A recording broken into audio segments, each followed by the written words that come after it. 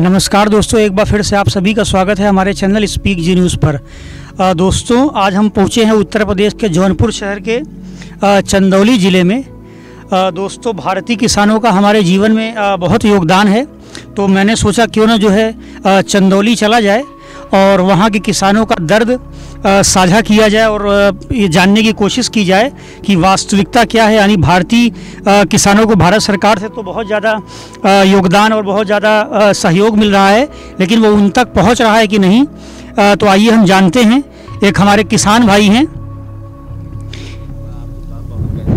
क्या नाम भैया आपका? रामबचन मौर्य। मौर्या जी ये बताइए किसानी वगैरह में जो है आजकल, क्या, कौन सी फ़सलें उगाने तैयारी कर रहे हैं आप लोग? सबसे पहले तो आप सभी का बहुत बहुत धन्यवाद स्पीक जी न्यूज़ टीम का, क्योंकि हमने सुना है कि आप सब निष्पक्ष पत्रकारिता करते हैं, किसी भी राजनीतिक पार्टी का पक्ष नहीं लेते। तो इसके लिए आपका बहुत बहुत धन्यवाद और स्वागत। और दूसरा ये कि आप लोग हमारे यहाँ आए चंदौली ज़िले में, जो कि आवाजापुर गाँव है, इसके लिए आपका बहुत बहुत स्वागत। अब देख सकते हैं कि यहाँ पर हमने धान का बीज डाल दिया, अब ये तैयार हो गया है। अब यही इंतज़ार किया जा रहा है जल्द से जल्द बारिश हो तब इसको उखाड़ कर खेत तैयार कर लगाया जाए। अच्छा ये मौर्या जी ये बताइए ये धान जो है कितने बीघे खेत के लिए आपने बेहन डाला हुआ है? जी देखिए इसमें इसको को आप देख सकते हैं लगभग ये आधे बिस्से में डाला गया है तो इसमें लगभग मान के चलिए पाँच से छः बिस्से धान लग जाएगा। अच्छा तो इसके लिए बड़ी मेहनत करनी पड़ती होगी आप लोग अरे सर पूछिए मत इतनी मेहनत है कि लागत तो निकल नहीं पाता पेट भर जाए उतने हो जाता है। अच्छा लेकिन भारत सरकार तो बहुत ज़्यादा मदद कर रही है किसानों का तो वो मदद आप लोगों तक पहुँच पाती है कि नहीं पहुँच पाती?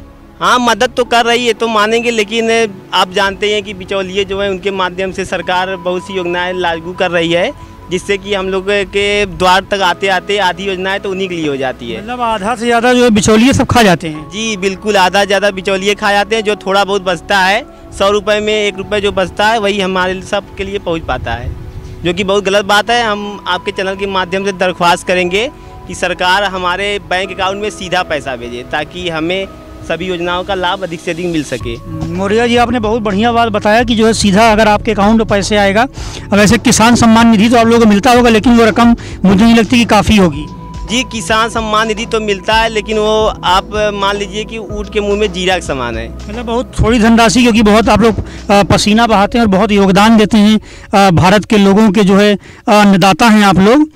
तो सही कहा आपने और कुछ मैंने सुना है कि आप लोग बहुत उन्नत तकनीक से जो है खेती करते हैं और भी कुछ फ़सलें उगाते हैं क्या आप लोग? जी बिल्कुल हम लोग और फ़सल उगाते हैं जैसा कि आप देख सकते हैं हमने धान का बीज डाल दिया है तो इसको हम एडवांस तकनीक से करते हैं खेती। अच्छा, अ, मैंने सुना है कि आप लोग ये मशरूम की खेती वगैरह गुलाब उलाब की तो ये आसपास कहीं दूर दराज के गाँव में है क्या? जी बिल्कुल हम लोग मशरूम की करते हैं गुलाब की आम की करते हैं चमेली करते हैं। लेकिन सर जैसा कि हमने आपको बताया कि इसमें हम लोगों को लागत नहीं निकल पाती है। हम लोगों को जितना हम लोग खेती करते हैं उससे हम लोगों को घाटा ही आता है। इसलिए धीरे धीरे सभी किसान जो है इस सब खेती से मुँह मोड़ रहे हैं। इसी मौर्या जी, आपने जो है बहुत अच्छी बातें बताया और दोस्तों, हमने आपसे ये अपने किसानों का जो है दर्द साझा किया तो मैं उम्मीद करता हूँ कि आपको हमारी ये जानकारी बेहद खास लगी होगी और मैं उम्मीद करता हूँ कि इस किसान भाई की बातें जो है भारत सरकार तक पहुँचे भारत सरकार जो है इस पर और कुछ अपनी राय दे और और आगे सहयोग की प्रक्रिया को आगे बढ़ाएँ। कैमरामैन रोहित के साथ मोहित, स्पीक जी न्यूज़।